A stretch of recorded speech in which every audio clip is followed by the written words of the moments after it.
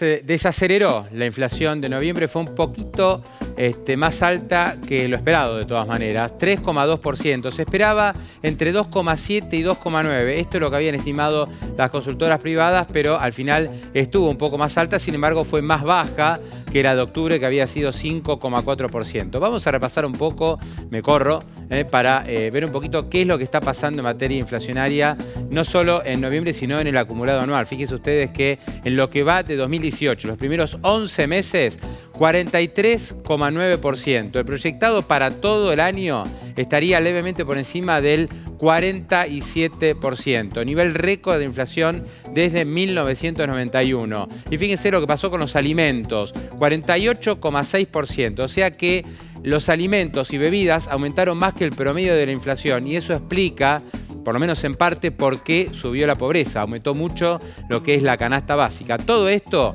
fruto de eh, la devaluación, del gran aumento del dólar que superó el 100% del año. Y vamos a cerrar con este dato, que es eh, cuánto han aumentado la inflación, cuál, es la inflación en los distintos países de la región. A ver si lo podemos ver. Ahí está, ¿eh? en Argentina 47% el acumulado del año. Y fíjense lo que está pasando en otros países de la región. Realmente estamos eh, liderando el ranking. Por supuesto, dejamos afuera a Venezuela, que tiene hiperinflación. Pero fíjense lo que es la inflación anual en el resto de los países. Mientras que Argentina acumula, o va a acumular en 2018, una inflación del 47%. En Brasil es solamente 4,4%. Paraguay, 4,2%. Inflación anual.